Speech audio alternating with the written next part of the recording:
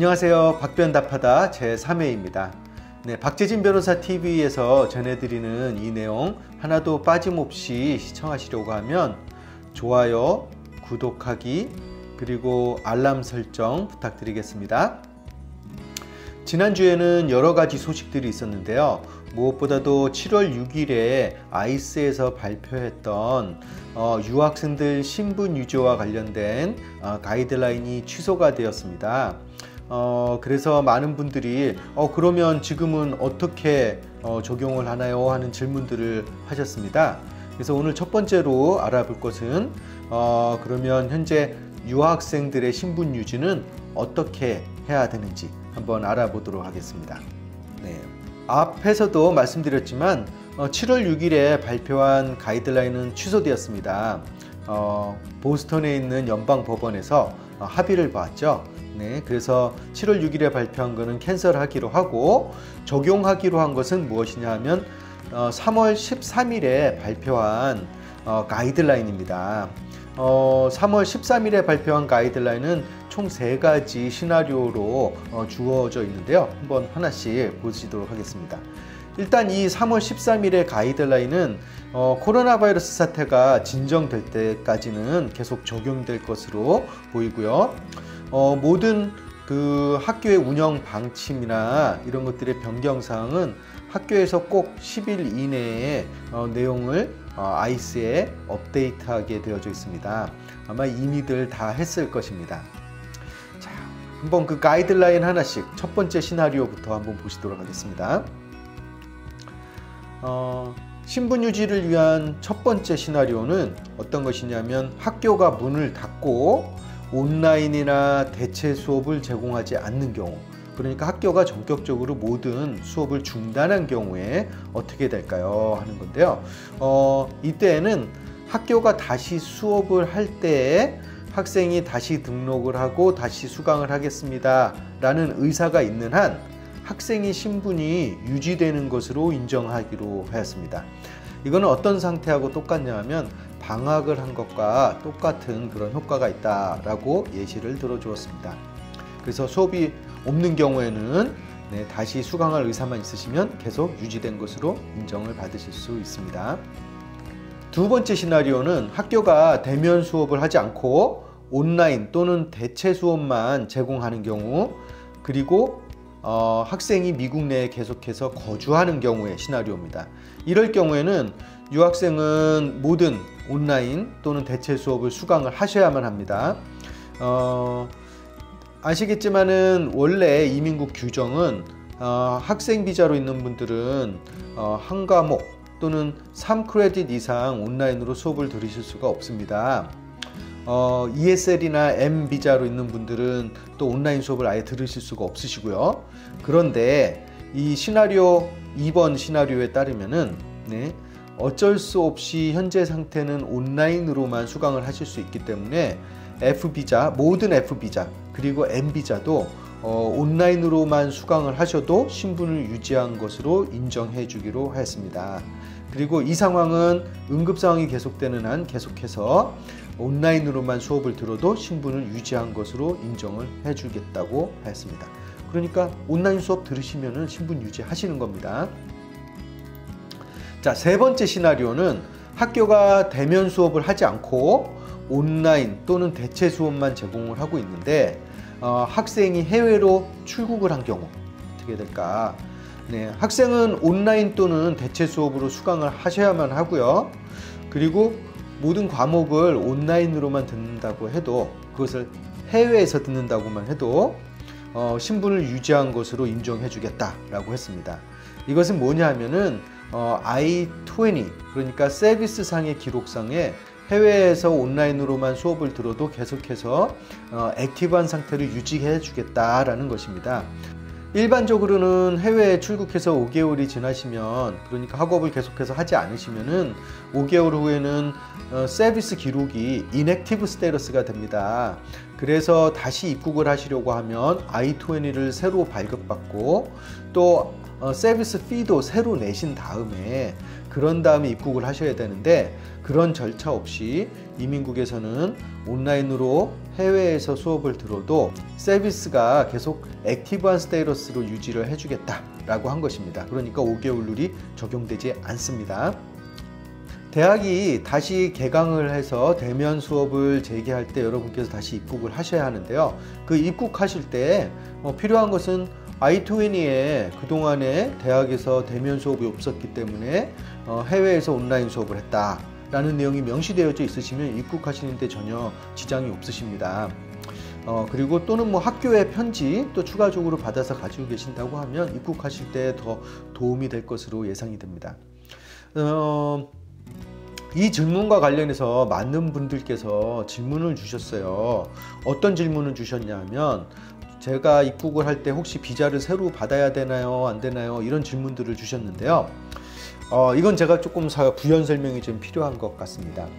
어, 많은 분들께서 이게 혼동을 하고 계신 것 같아요. 무엇을 혼동하시냐면 비자와 I20 그러니까 서비스상의 기록이 액티브하게 유지해야 되는 것은 서로 다른 두 가지 문제입니다. 서로 다른 문제예요. 서로가 이렇게 연결되어 있는 이슈이긴 하지만 두 가지는 서로 별개의 문제입니다. 어, 뭐냐면 비자는 어, 보통 학생 비자는 5년씩 유효한 걸 받으실 텐데요. 네. 어, 비자는 입국 시에 유효해야만 합니다. 그러니까 입국장에서 입국 심사를 받는 시점에서 그 비자가 유효해야 미국에 입국을 받으실 입국을 하실 수가 있습니다. 어, 여러분들이 온라인 수업 다 마치시고 이제 대학이 대면 수업을 재개한다라고 하는 시점에서 미국에 입국할 때 여러분이 가지고 있어야만 하시는 것은 어, 유효한 학생 비자 F1 비자입니다. 그리고 I-20 SEVIS 기록이 active한 I-20를 가지고 계시면 입국하시는 데 문제가 없습니다. 따라서 응급조치로 이번에 발표된 3월 13일에 어, 발표된 응급조치로 어, 비록 5개월 이상 해외에 있다고 해도 온라인 수업으로 수업을 유지하셨으면 SEVIS 기록이 계속해서 active하게 됩니다. 하지만 그 기간 중에 학생 비자가 만료된다. 네, F1 비자가 만료된다. 라고 하시면은 어, 대사관을 통해서 학생 비자를 새로 발급을 받으셔야만 합니다. 어, 이 그 비상 조치가 이 3월 13일에 발표된 비상 조치는 I20를 active한 status 유지해 주는 것과 관련된 것이지 학생 비자의 유효 기간을 연장해 주는 것이 아니다 라는 것을 잘 이해하셔야만 합니다. 학생 비자 그러니까 입국할 당시 해외에 나갔다가 다시 미국에 입국할 때 제시하셔야 하는 학생 비자가 연장되는 것은 아닙니다. 만약에 학생 비자가 그 기간 동안에 만료가 되신다고 하시면은 어, 학생 비자 재신청해서 받으시면 됩니다. 네. 어, 간혹해서 아주 특별한 경우에 어, 입국장에서 학생 비자가 만료가 되었어도 어, 비자를 웨이브해줘서 입국을 허용하는 경우가 있습니다. 그런 경우는 입국이 보장된 것이 아니에요. 여러분이 어떤 심사관을 만나는가, 그리고 어떤 상황에 있는가, 무엇이 여러분의 어, 비자가 익스파이어 되도록 하였는가, 그리고 만약에 비자가 익스파이어 됐다라고 해도 다시 그 비자를 발급받으실 수 있는 기회가 있었는가, 여러 가지의 경우의 수가 어, 작용을 하기 때문에요. 뭐 비자가 익스파이어 됐어도 내가 I-20가 있으니까 한번 입국 시도해 봐야지 어, 그렇게 하시면은 좀 위험 부담이 많습니다. 충분히 여러분께서 새롭게 비자를 신청해서 받으실 수 있음에도 불구하고 그거를 받지 않는 상태에서 입국을 하신다고 하시면 당연히 여러분 입국 거부가 될 가능성이 높습니다. 따라서 여러분들 본인의 학생 비자가 언제 만료되는지 확인하시고 그리고 입국 준비하시기 바랍니다. 지난 7월 16일에 어, 주한미국 대사관이 어, 7월 20일부터 주한미국 대사관의 일부 비移비자 업무가 재개된다라고 발표를 했습니다. 어, 이번에 재개된 비移비자 캐리고리는 F 비자, 학생 비자, 그리고 M 비자, 트레이니 비자죠. 그리고 J 비자 어, 신청을 어, 다시 재개하겠다라고 발표를 했습니다. 이 비자들은 이제 가을 학기에 시작될 어, 대학들 또 학생들 이런 분들께서 어, 받으셔야 되는 비자이기 때문에 지금 우선적으로 어, 제기한 것으로 보입니다. 여러분들 참고로 알아두셔야 되는 것은 6월 22일에 트럼프 대통령이 행정명령을 통해서 금지시킨 비자 캐리고리들이 있습니다. H1B, L, 그리고 J 비자. J 비자는 여러 가지 캐리고리들이 있는데요. 그 중에서도 미국의 노동 시장에 직접적으로 영향을 미치는 비자들은 12월 31일까지 발급이 중단되어져 있는 상태입니다. 그리고 아시겠지만 신규 이민 비자 그러니까 영주권도 12월 31일까지 중단되어져 있습니다. 그 외의 비자들, E 비자라든지 투자자 비자들이요. 어, 어, E 비자라든지 R 비자, 종교인 비자 등이 아직 지금 언제 재개될지 발표는 되지 않고 있습니다. 예상하기로는 9월쯤에 9월 이후쯤에나 업무 재개 발표를 하지 않을지 예상하고 있고요. 하지만 긴급 비자 인터뷰는 계속해서 진행을 하고 있는 상태입니다. 어, 미국 내에서 가족들의 장례식이라든지 치료 목적 또는 긴급한 어, 회사 업무, 비즈니스 업무로 미국을 방문하셔야 하는데 무비자 입국이 거절되신 분들, ESTA가 거절되신 분들은 꼭 인터뷰를 하셔야 되는데 이런 분들은 긴급 인터뷰, case by case 리뷰해서 긴급 인터뷰를 하고 있다라고 어, 대사관에서 발표를 했습니다. 그리고 다음 질문은 지난주에 우리 그 뉴욕주 렌티비 지원 프로그램과 관련해서 많은 질문들을 주셨는데요. 이 단답형들이 있기 때문에 제가 좀 묶어서 답변을 드리도록 하겠습니다. 어, 뉴욕주 렌티비 지원 프로그램은 어, 7월 30일까지 신청이 가능하세요. 그러니까 7월 30일까지 온라인으로 신청을 하시면 됩니다.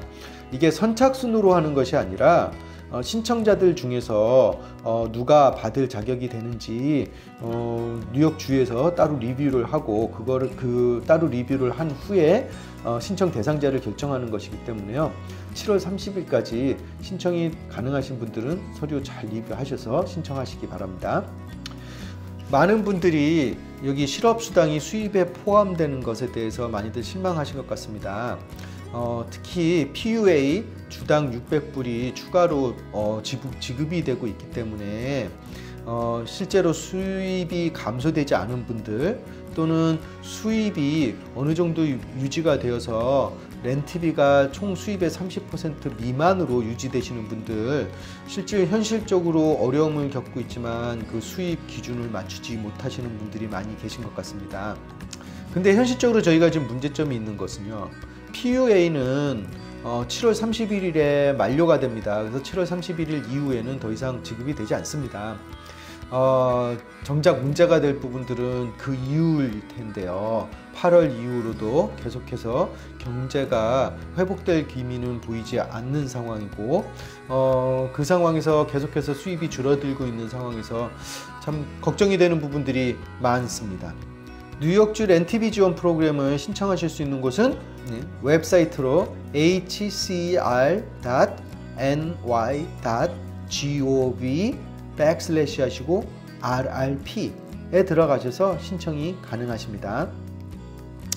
지금까지 박변 답하다 제3회 시청해 주셔서 감사합니다. 여러분들 제 답변을 듣고 싶은 어, 질문이 있으시다고 하면 이 영상의 주제와 관계없이 어떤 질문이든 아래 댓글란에 질문 남겨주시기 바랍니다. 그러면 제가 답변 드리도록 하겠습니다. 저희 박재진 변호사 TV 영상 하나도 빠짐없이 시청하시기 위해서는 좋아요, 구독하기, 그리고 알람 설정 부탁드리겠습니다. 감사합니다.